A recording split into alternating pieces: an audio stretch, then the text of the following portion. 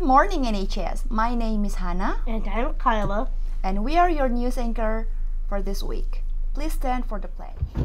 The Pledge of Allegiance. I I pledge allegiance to the flag of the United States of America and to the republic for which it stands, one nation, under God, indivisible, with liberty and justice for all.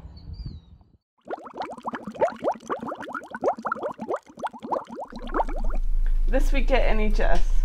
For those interested in participating in the Cool Schools Dunk, the $50 registration for the Cool Schools Dunk has to be turned in by tomorrow, February 16th, in order to participate. Attention all girls signing up for softball will need to meet up with Coach Miller in the gym today for a short meeting with teacher permission. Any girl who can't make the meeting, please see Coach Miller ASAP. Seniors, if you're interested in scholarships, please stop by the Counseling Center to pick up the newest edition of the counseling notes.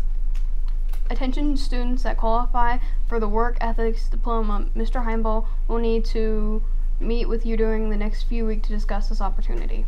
Thank you to the wellness team for the Valentine's snack during intervention yesterday. If you did not have a chance, please watch the videos shared about the dangers of e-cigarettes and vaping. Next week is FFA week. More inform- more information to follow. Today's special feature. Today is National Gumdrop Day.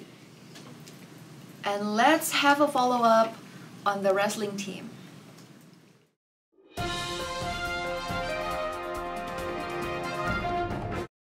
All right, so we're here with Scotty Bites, and uh, I want to ask you how you guys, or how do you think that you did in your uh, previous wrestling team states wrestling match?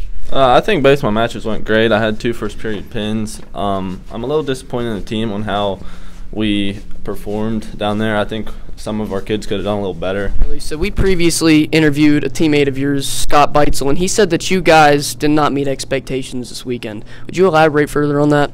Yeah, I just feel like we didn't wrestle the best that we could. Why do you say that? Uh, well, we were just a little flat-footed, and we some of us just weren't ready to step up to the plate. And uh, it was a big moment. I mean, states, team states, it's, it's huge. All right, Brenneman, I heard you had an absolute beast of an opponent this weekend. You want to tell me how that went? I mean, it went pretty good. I, I got the win. Got the win. It was closer than I would have liked it to been, but I Can got you the win. can you tell me about that? Like how'd the match go? Is there any any specific details you can remember that really just he caught you in the moment? Yeah, um, we went on our feet first period. Uh, couldn't do much. Zero zero. But he, he got a little fatigued. A little fatigued, and I think you just used your cardio after that and kind of took over. And there it has Today's news is sponsored by the 2022-2023 yearbook on sale now at jostens.com. Reserve your copy today.